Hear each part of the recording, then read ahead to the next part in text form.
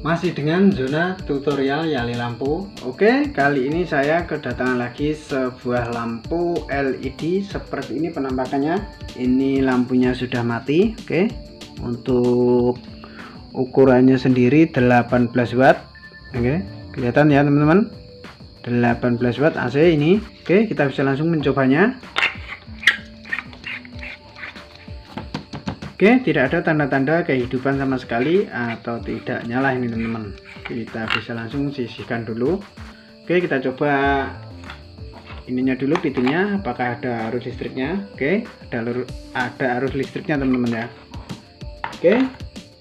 Kita bisa langsung membukanya. Jika teman-teman tidak mempunyai alat congkel, teman-teman bisa membukanya menggunakan obeng kecil seperti ini, taspen. Oke, kita buka langsung ya kita buka langsung di sebelah sini saja teman-teman. Sebentar.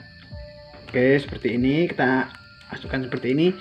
Jika untuk obeng mainnya ini kurang kecil teman-teman teman bisa mencarikan obeng yang agak kecil seperti ini. Oke seperti ini sangat kecil ya teman-teman. Kita bisa langsung mencongkelnya seperti ini. Nah.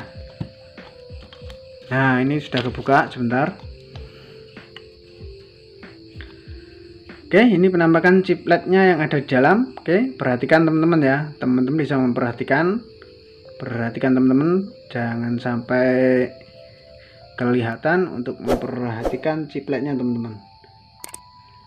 Nah, ini sudah ketemu. Oke, sudah ketemu. Nah, ini sudah kelihatan sebentar. Ini ada ditandakan gosong atau hitam. Oke, ini. Oke, kelihatan ya sebentar saya perdekatkan dulu. Ini ada tanda hitam ada tanda kosong. Nah kalau tanda hitam atau tanda kosong seperti ini langsung saja kita lepas. Seperti ini melepasnya. Nah oke sudah terlepas ini ya. Ini sudah terlepas. Oke ini sudah terlepas seperti ini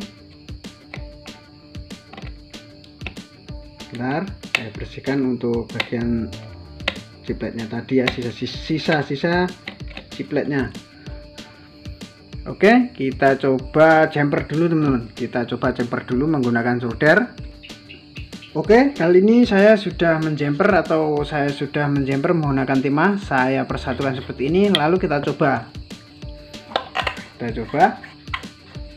Oke, lampunya nyala jangan terlalu lama teman-teman ya untuk mencobanya sebuah lampu. Jika sudah di jumper seperti ini nanti sebelahnya putus. Berarti kalau lampunya ini semua nyala berarti lampu cipletnya ini masih normal teman-teman. Oke kita jumper menggunakan dioda teman-teman. Kita carikan dulu dioda 1 ampere dioda bekas teman-teman ya. Kita carikan dulu sebentar.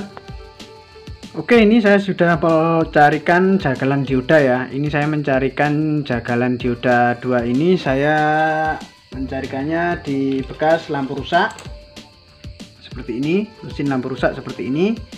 Kita ambil diodanya saya mengambilnya hanya dua ya karena butuh dua saja. Untuk ukuran lampu 18 watt ini kita bisa menjempernya di sini langsung. Di sini dioda satu ya. Di sini kita pasang dioda satu untuk ukuran 1 ampere lalu di dalam sini kita pasang dioda satu. Oke kita pasang dulu untuk di sini. Kita pasang diodanya dulu Oke seperti ini cara penjemberannya ya. Seperti ini oke kelihatan?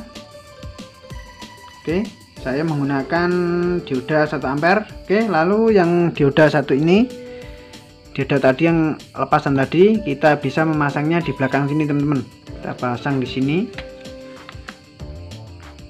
Oke kita pasang di sini kita lepas. Nah di sini. Oke kita ambil ininya dulu apa kabelnya teman-teman ya. Kita ambil kabelnya nah satu ini kita ambil kabel satu. Lalu ini kita sambung di sini teman disambung di solder juga baik di langsung kita sambung kita kasih isolasi juga baik. Kita sambung dulu ya saya menyambungnya saya solder. Oke seperti ini ya cara menyambungnya. Lalu kemudian kita bisa langsung memasukkan kembali di sini. Nah seperti ini ya seperti ini. Lalu kita bisa pasang untuk paku fittingnya ini Nah seperti ini jika kelebihan seperti ini kabel dioda apa kaki dioda kita potong saja. Oke kita potong saja sebentar. Oke ini dioda bekas saja teman-teman ya. Ini dioda bekas. Oke seperti ini saja. Oke seperti ini kita bisa langsung mencobanya. Kenapa saya kasih dioda di, di sini? Ntar arusnya bisa berkurang atau bisa turun teman-teman ya. Kalau langsung dikasih dioda di sini tidak dikasih dioda bagian sini di, tidak dikasih dioda otomatis arus listriknya yang masuk besar karena chipletnya berkurang teman-teman oke kita bisa langsung mencobanya jika teman-teman takut teman-teman bisa memasang kembali tutupnya seperti ini Oke, nah seperti ini saja teman-teman ya. Kita bisa langsung mencobanya apakah lampunya bisa nyala kembali. Dulu perlahan-lahan di sini saja. Oke. Oke teman-teman ya, lampunya nyala kembali dan nyala terang kembali. Ini sangat sempurna teman-teman ya.